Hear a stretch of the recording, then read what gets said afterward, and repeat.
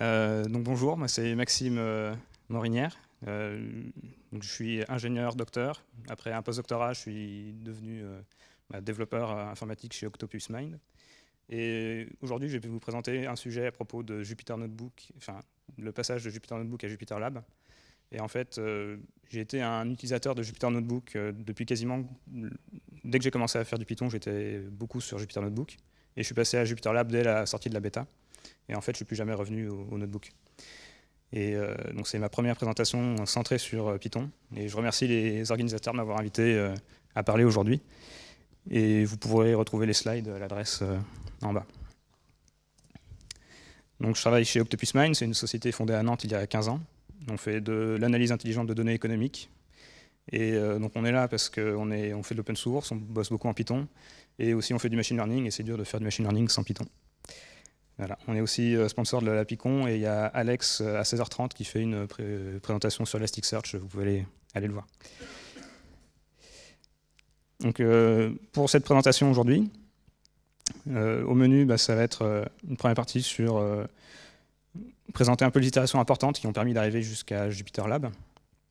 Et ensuite, une deuxième partie pour expliquer pourquoi Jupyter Lab Parce qu'en fait, Jupyter Notebooks, qui est le prédécesseur de Jupyter Lab, euh, ça a eu un grand succès. Souvent, certains disent que c'est le nouvel Excel. Alors, si c'est si bien, pourquoi faire Jupyter Lab? Donc, je vais essayer de répondre à tout ça et de montrer à quoi ça ressemble. Et euh, enfin, une dernière partie sur quelques cas d'usage qui m'ont simplifié la vie pendant que j'ai utilisé Jupyter Lab. Voilà. Donc, euh, un petit avertissement, je n'ai jamais participé au développement des outils dont je vais parler, mais j'ai beaucoup aimé les utiliser. Donc je vais essayer d'être clair, précis et concis, mais je pourrais sans doute pas répondre aux questions les plus techniques. Et euh, voilà. N'hésitez pas à me dire aussi s'il y a des outils plus pratiques que ceux que j'ai utilisés pour faire la, même chose. Ça m'intéresse. Ok. Euh, D'abord, peut-être euh, question préliminaire sur qui a déjà entendu parler de Python Donc, quasiment tout le monde. donc, il a déjà utilisé, quasiment tout le monde aussi. Et qui l'utilise au quotidien Oui, voilà. Et ensuite, Jupyter Notebook, qui l'a déjà. Voilà, donc beaucoup de monde encore. Et euh, bah, la même chose avec euh, Jupyter Lab, qui connaît Jupyter Lab, qui utilise. Ok, très peu. Donc c'est une, a priori c'est une bonne, une bonne j'ai bien fait de présenter aujourd'hui. Ok, on va commencer par un petit peu d'historique. Donc je vais essayer d'être bref parce que c'est pas forcément le plus intéressant dans, dans, la présentation, mais au moins ça permettra de mettre les bases sur pour la suite. Ok, alors euh, Python, j'ai été assez surpris euh, d'apprendre, en fait ça datait de 2001, j'ai jamais regardé mais c'est euh, presque 20 ans. Et euh, c'est un interpréteur, un interpréteur Python interactif. Et on y trouve plein de petites sucreries qui manquent bah, à l'interpréteur Python par défaut et qui deviennent vite, vite indispensables. D'abord on a le fait qu'il y ait de la couleur, donc déjà c'est quand même assez sympa, ça permet de plus facilement lire, notamment pour les tracebacks. Ensuite, il y a l'autocomplétion et de l'introspection. Donc, euh, on a accès aux modules, aux classes, euh, aux méthodes. Et côté introspection, on a aussi l'affichage de la doc avec un point d'interrogation en suffixe. Et euh, deux points d'interrogation, ça montre le code source. Donc, c'est assez sympa. Qu'est-ce qu'il y a d'autre? Il y a donc, les commandes magiques avec pourcent ou double pourcent. Donc, on peut aussi définir nous-mêmes. Donc il y a notamment %run, c'est pour lancer un script euh, Python depuis euh, l'interpréteur, et aussi %pdb pour mettre, euh, pour mettre en route IPDB qui est lancé à chaque heure rencontrée en fait. On a également accès au shell pour lancer des commandes comme si on y était. Donc il suffit d'ajouter un point d'exclamation au début de la, commande. On peut même utiliser des commandes bash basiques sans le point d'exclamation. Donc c'est une partie des magies qui sont intéressantes. Et j'ai même entendu parler de gens qui utilisent Python comme shell. Donc personnellement, je ne suis pas encore rendu là, mais c'est possible. Donc ça, je vais passer un peu, c'est des petits exemples pour tout ça. vous pourrez retrouver dans les slides. Euh, donc maintenant, le notebook. Qu'est-ce qu'on entend par le notebook? En fait, ça peut être deux choses. Donc à la fois un document en format JSON et aussi une application web qui permet de, visualiser les notebooks dans un navigateur et d'interagir avec le document en utilisant IPython pour euh, interpréter le code. Donc le document, c'est au format JSON, c'est des cellules qui peuvent contenir du code, donc avec une cellule d'entrée, une cellule de sortie, et aussi euh, du, texte avec euh, des cellules Markdown. On peut y inclure des images, des liens, des vidéos, il n'y a pas de souci. Et dans l'application web, on peut lire ces documents, interagir facilement avec, faire tourner le code du cellule, modifier ce code, relancer la cellule. voilà, c'est vraiment interactif et on garde la trace de notre session dans un document qu'on peut sauvegarder et partager, et donc c'est très pratique. Et le notebook, lui, est apparu dans le projet Python à la base en 2009. Donc, ce qu'ils se sont rendus compte, c'est qu'en final, euh, rien n'empêchait d'utiliser le notebook avec d'autres langages. Euh, donc pas besoin d'avoir forcément Python, on pouvait aussi avoir d'autres kernels. Et il suffisait d'utiliser un autre euh, kernel pour interpréter un autre langage. Donc c'est pas exactement tout à fait vrai, donc il y a un lien ici, je vais, pas, vais pas expliquer tout ça, là, mais voilà, en a quand même besoin un peu d'Ipython. Et euh, en fait, il y a tout plein de kernels et c'est vraiment impressionnant. Donc il y a du C++, SQL, Ansible, Knuplot, euh, MATLAB. il y en a vraiment pour tous les goûts. Et donc c'est comme ça qu'en fait est né Jupyter en 2014 de la séparation du notebook avec Ipython. Euh, donc d'ailleurs le nom Jupyter, ça vient de la contraction de Julia, Python et R. Donc ça montre qu'on peut utiliser plusieurs langages avec l'outil. Et donc depuis, le succès de Jupyter Notebook, c'est pas démenti. Donc il y en a qui disent que c'est le nouvel Excel. Euh, et je pense que d'ailleurs, la plupart d'entre vous ici, vous avez enfin, c'est ce qu'on a vu, vous avez dû commencer avec euh, Jupyter Notebook plutôt qu'avec Jupyter Lab ou avec euh, Python. Ok, donc voilà pour la première partie. donc j'espère que ça a au moins mis en place le contexte et on va passer au vrai gros morceau de la présentation maintenant. Alors, donc, euh, pourquoi faire? Donc, je vais d'abord présenter les grandes motivations, ensuite la nouvelle interface et nouvelles fonctionnalités, et aussi euh, parler de la nouvelle façon d'intégrer des plugins. Donc, tout d'abord, euh, quelle motivation Donc, s'est développé pour remplacer à terme l'application web Jupyter Notebook. Alors, alors, quelles sont les motivations? Alors que Jupyter Notebook, ça plaît à beaucoup de monde en fait, c'est de faire un Jupyter Notebook euh, amélioré. Donc l'idée, c'est de garder vraiment les mêmes briques de base qui ont permis le succès. Donc l'interaction avec les notebooks, l'accès à un terminal, à une console, à un éditeur de texte, mais surtout plus facilement interagir avec toutes ces briques de base et aussi améliorer un peu le design. Euh, un autre point, c'est la facilité l'ajout d'extensions. Donc, je ne sais pas si c'est forcément plus simple à, développer, mais c'est au moins plus extensible, le champ des possibles est un peu plus large. Euh, et après, donc, pour les développeurs qui développent euh, Jupyter Lab, c'est d'utiliser aussi des technos plus récentes, type euh, NPM, TypeScript, et de faire des choses aussi plus proprement boutique. Mais bon, là, je ne suis pas un expert, donc je ne vais pas vous expliquer de quoi il en retourne exactement. Donc, le développement a commencé en 2015, je ne sais pas exactement précisément quand, mais c'est en 2015. Et euh, c'est en février 2018 que JupyterLab est prêt à être utilisé euh, en version bêta. Donc en lien, je mets l'article de blog qui en fait l'annonce. Euh, et donc il y a quelques mois, fin juin 2019, on a vu la version 1.0 de JupyterLab. Donc là, en lien, j'ai mis la release GitHub de la version 1.0 parce que il n'y a pas eu vraiment d'annonce dans des billets de blog et je trouvais ça un peu étonnant. Et donc maintenant, on est à la version 1.2 et une version 2.0 est prévue pour janvier. Ok. Donc euh, à quoi ça ressemble Jupyter Lab? Donc là, il y a un exemple ici.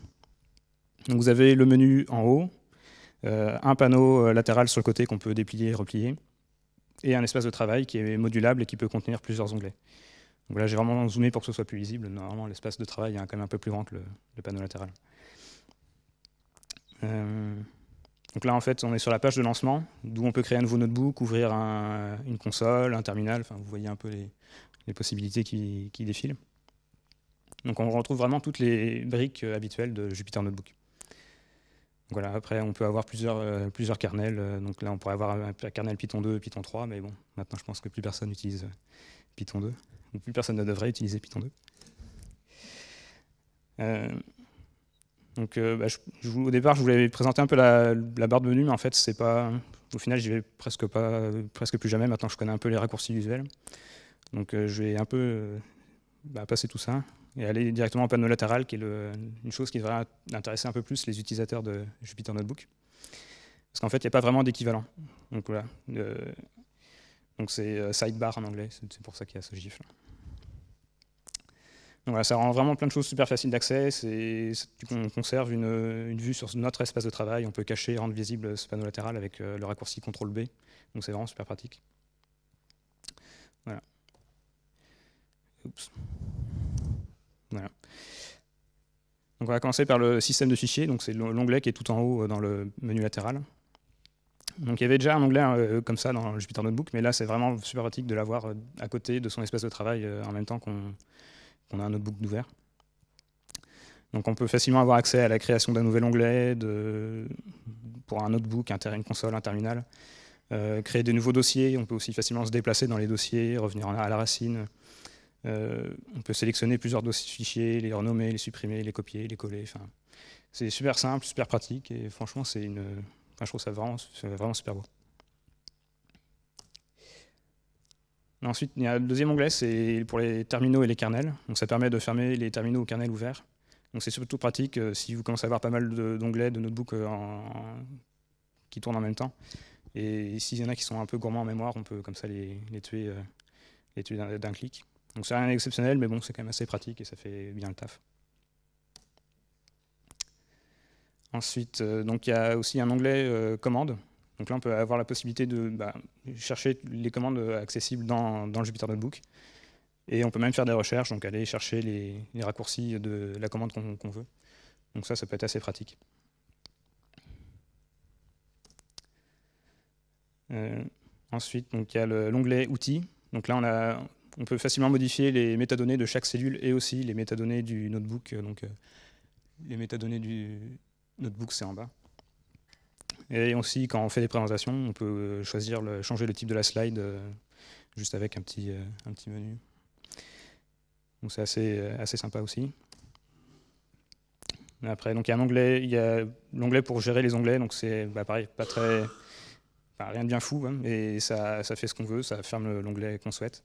Et donc attention, c'est pas comme, ça ferme pas la session du kernel, donc on, ça garde tout en mémoire. Ok. Donc là, on a vraiment bien avancé. Donc, je vais un peu montrer les nouvelles fonctionnalités, les choses qui m'ont beaucoup plu. Donc voilà. Donc il y a peut-être des choses qui existent déjà dans Jupyter Notebook, mais ça fait tellement longtemps que je suis passé à Jupyter Lab que ça se trouve, euh, il n'y a rien de neuf en fait. Donc euh, d'abord la réduction des cellules. Euh, donc en fait, il y a une barre bleue sur la gauche de chaque cellule et en cliquant dessus, on peut réduire la cellule on peut faire ça sur euh, l'entrée, la sortie, le, markdown. Donc c'est quand même assez pratique euh, quand on a, envie d'avoir quelque chose de plus lisible. Euh, on peut aussi déplacer les cellules à souris. Donc ça, ça peut être utile, mais moi j'avoue je l'utilise pas tellement. C'est avec tous les raccourcis clavier X pour couper, V pour coller, etc. Enfin ça marche. je trouve que ça marche mieux comme ça qu'avec la souris.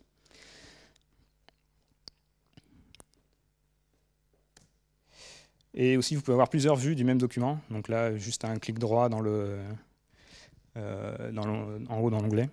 Et vous pouvez ouvrir une nouvelle vue du même document. Donc éditer, euh, enfin, avoir deux vues différentes pour éditer en fait le même document. Donc là, c'est un exemple où euh, j'ajoute un, espace, oui, un, espace et le supprimer sur l'autre vue. Et un truc qui est vraiment super, euh, super bien aussi, c'est la possibilité d'ouvrir plusieurs types de fichiers par défaut dans Jupyter Lab, les manipuler dans son espace de travail, se faire un tableau de bord euh, bah, très, très propre. Donc on peut ouvrir des images, des fichiers JSON, des fichiers CSV et aussi du HTML. Et euh, il y a aussi la possibilité de prévisualiser le rendu de certains types de fichiers. Donc par exemple là c'est un fichier Markdown et j'ai juste à faire un clic droit Show Preview et euh, j'ai euh, donc la, preview qui se met sur le côté et je peux euh, en temps réel écrire le markdown et ça, ça affiche le, rendu sur le côté. Donc ça c'est super pratique. Il y a la même chose aussi, on peut faire la même chose avec les fichiers tech et je vais montrer un peu comment ça se passe. Il y a besoin d'une extension pour ça.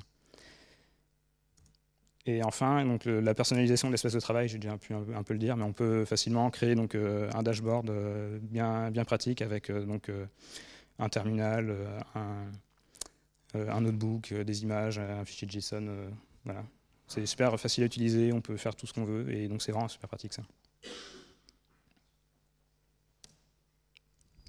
Et enfin, donc, pour finir cette partie, il y a une nouvelle façon d'intégrer des, extensions dans Jupyter Lab. Donc on pouvait déjà ajouter des extensions dans, Jupyter Notebook.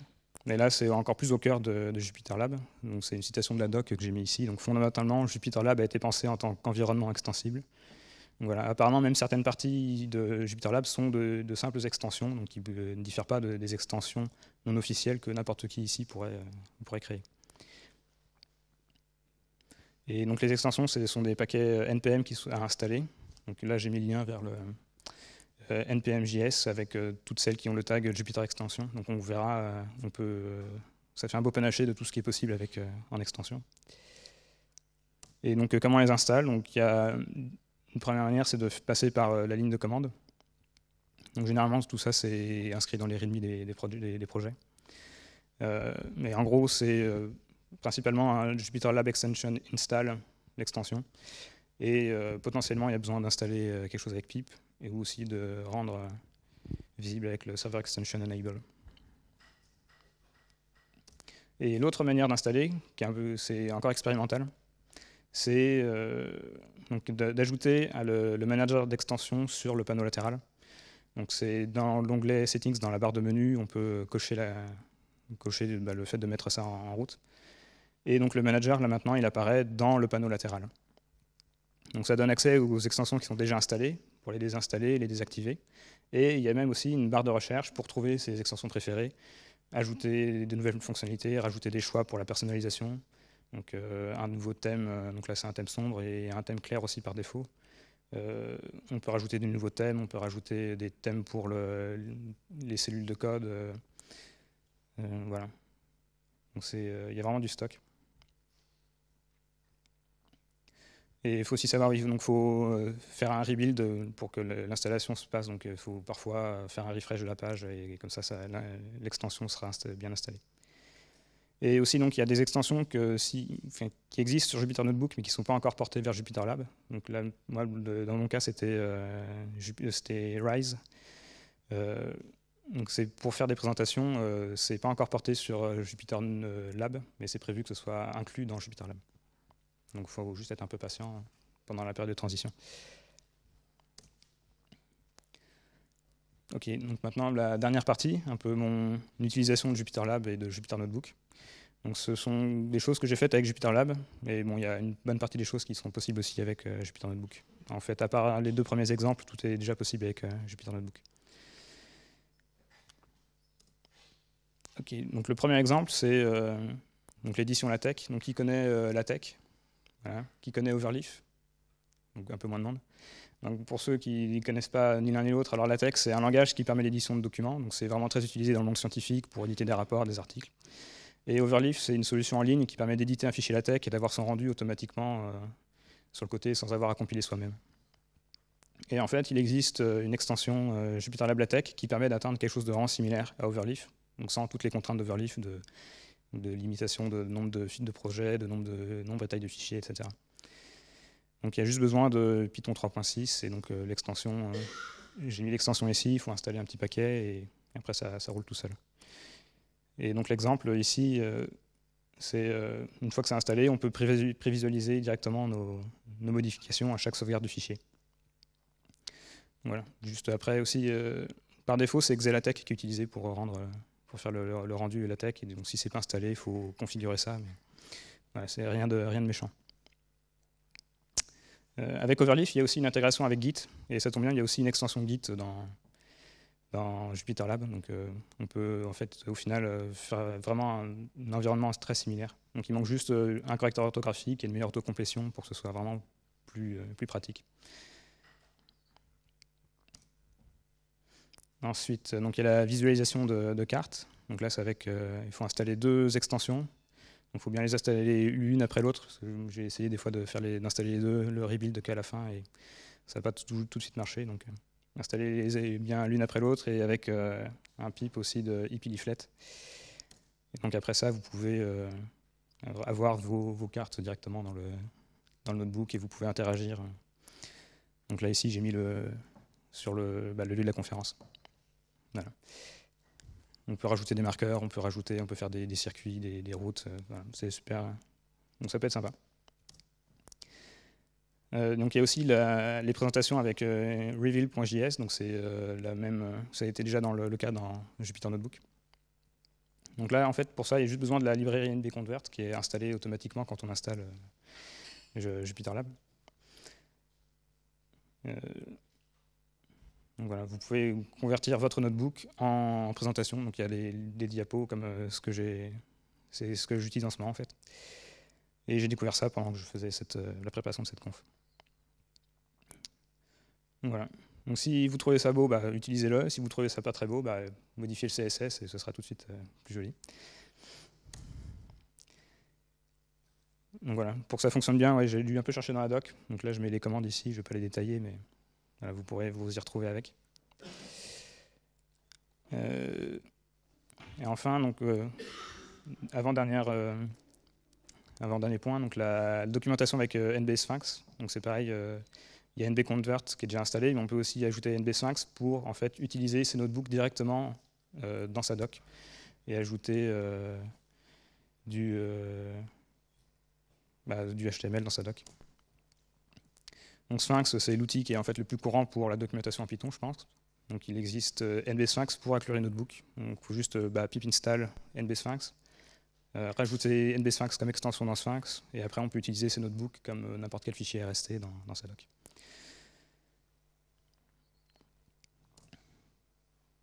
Et enfin, aussi, on peut créer ces notebooks de manière programmatique avec NB Format. Donc en fait, on peut s'amuser à créer des, notebooks euh, gabarits, des templates. Et euh, donc moi, mon, cas d'utilisation, c'était faire des expériences numériques. Donc des fois, je voulais juste faire euh, varier des paramètres dans mes simulations. Et donc j'avais besoin juste d'une fonction, j'ai défini une fonction avec donc le, gabarit qui me permettait de définir les cellules d'entrée, les cellules de texte, etc. Et j'avais juste après donc à utiliser cette fonction, ça me crée mes notebooks à la volée en quelques bah, même pas en quelques secondes, je voulais en créer euh, plusieurs centaines. il y avait juste après à les faire tourner, c'était euh, vraiment super pratique. Et Netflix va encore plus loin que ça, donc j'ai mis le lien ici sur un article, où ils font des... Vraiment, ils utilisent le, notebook pour donner accès aux données, euh, faire de, l'analyse. Donc ils font des, gabarits un peu comme j'ai fait moi aussi, et aussi même pour faire de, la planification de, tâches à tourner. Donc voilà un peu à quoi ça ressemble ici. Donc j'ai montré un exemple, c'est un exemple euh, de. C'est à partir de. Voilà, la cellule de, juste avec ça, je peux réussir à créer donc là deux notebooks. Et euh, donc après, je peux les, ouvrir, les lancer. On peut faire passer des, variables dans le dans le code, dans les cellules de code et dans les cellules de texte. Donc vraiment, ça simplifie euh, la création de notebooks similaires. Donc quand on a un workflow bien précis et qu'on veut euh, des fois changer juste deux, trois petites choses, c'est super pratique. Et comme ça, on évite aussi les erreurs quand on recopie, on change, etc. Donc voilà, il y aurait encore beaucoup de choses à dire. Donc il y a plein de, plein de petites choses euh, super utiles dans Jupyter, dans le, bah, le, projet Jupyter en général. Donc voilà, ça c'est des choses que j'ai pas encore vraiment eu le temps de bien essayer, mais je sais que c'est super, ça a l'air super cool. Donc il y a EP Widget pour rajouter des boutons, des, cases à cocher, des, sliders, enfin il y a plein de trucs sympas. Euh, BQplot pour faire des graphiques euh, interactifs. Euh, Jupyter Hub pour donner accès à des serveurs de notebook à ses équipes, donc des étudiants, des chercheurs, des collègues. voilà pour transformer les notebooks en applications web. Et donc après il y en a plein d'autres que j'oublie. Donc bah, là-dessus, je vais. Merci de votre attention. N'hésitez pas à me poser des questions. Et voilà. Merci.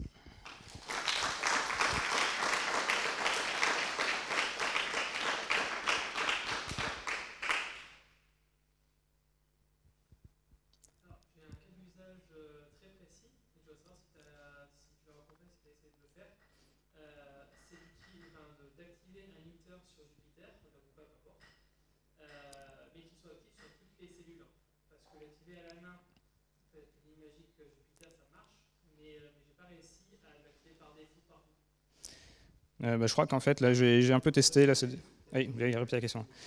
Donc, euh, la, question, c'est euh, avoir un linter qui marche sur toutes les cellules dans le, dans le notebook, c'est ça? Donc là, il y a des extensions. J'ai vu ça bah, justement ces derniers jours. Il y a une, une, extension pour ça. Donc c'est Code Formateur, Jupyter Lab Code Formateur.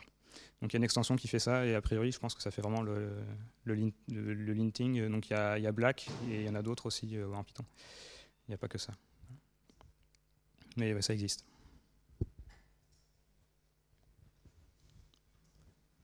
Une autre question?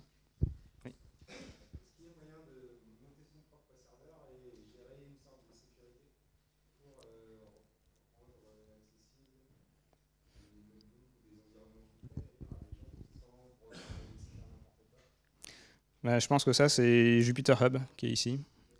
Et euh, je pense que c'est vraiment le, cas d'usage. Euh, donc, donc là, il y a le lien pour la page GitHub, mais je pense que ça va être ça. Le... Je l'ai jamais utilisé, mais. Oui.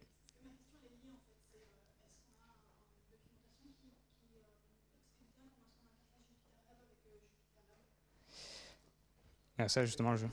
Ah oui, donc est-ce que euh, on a est-ce qu'il y a une bonne documentation pour l'interfaçage de Jupyter Lab avec Jupyter Hub? Euh, bah Ça, justement, je ne sais pas, j'ai jamais euh, eu à le rencontrer. Oui.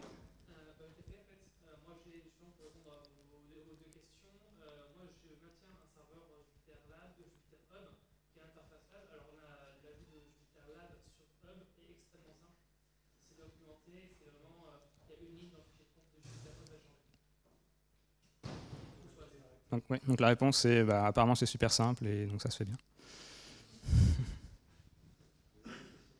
oui.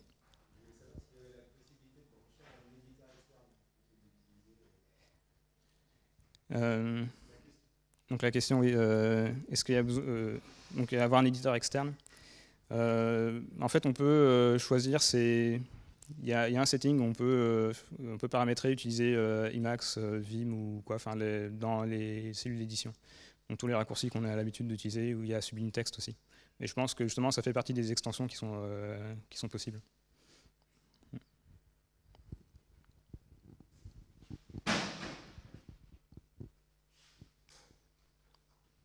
D'autres questions? Oui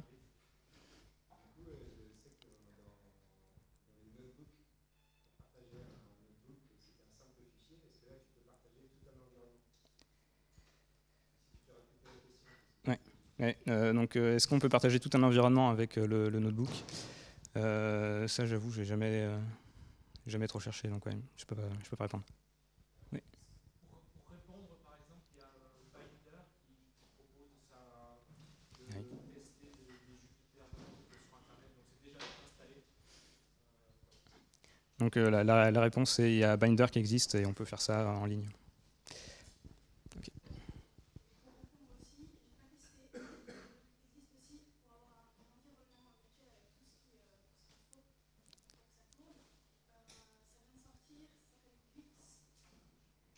Ok.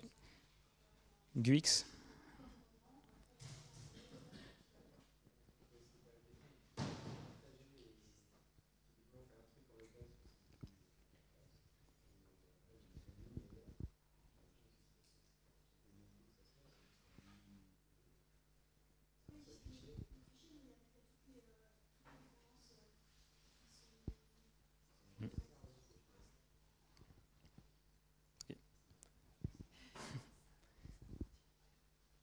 Je pense que je vais laisser le temps euh, au prochain présentateur de s'installer. Donc euh, bah, merci.